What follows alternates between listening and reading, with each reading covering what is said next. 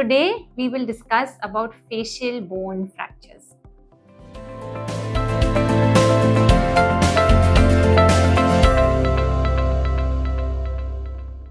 Hello everyone, I'm Dr. Priyadarshini Banerjee. It so it can happen that probably you meet with an accident.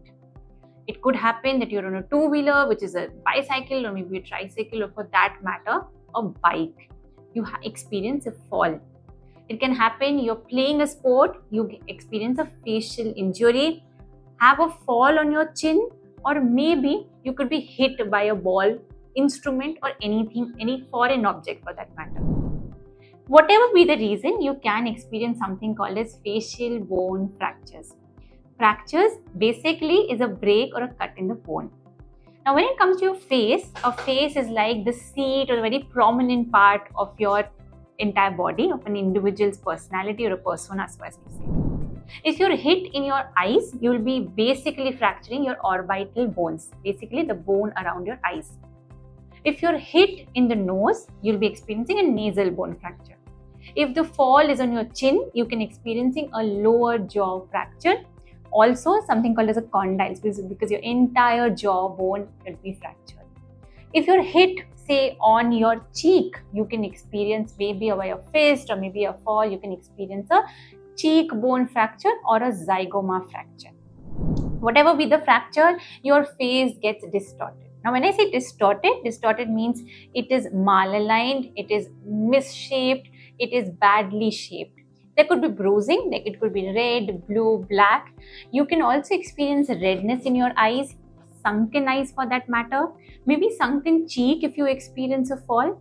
You can also experience broken bones of your jaw.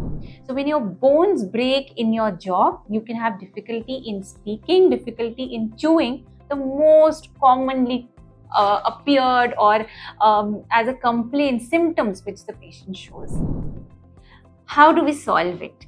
Basically, you have to reach out to a specialist called as an oral and maxillofacial surgeon who basically consults you, sees you, examines you clinically, goes ahead with maybe a few of your scans, gets a few tests done, and we come to a conclusion as solution as to what treatment will suit you the most.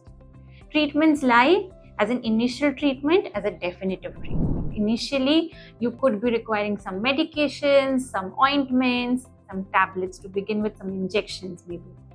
Definitively, you may or may not require surgery for your bones. Why surgery or why treatment? You have experienced a fracture, like you experience fracture in anywhere your body, a treatment does exist for it you could require a treatment which is a comprehensive one which is which includes a surgery and which also includes a post-op follow-up post the surgery all in all treatment very much exists whenever you experience such a fall or somebody near you experiences a facial bone fracture do remember seek help from maxillofacial surgeons seek help from specialists do consult us get in touch post your queries we would be happy to help whatever query you have, you can jot it down, write down below, and we're always there to help you out. Thank you.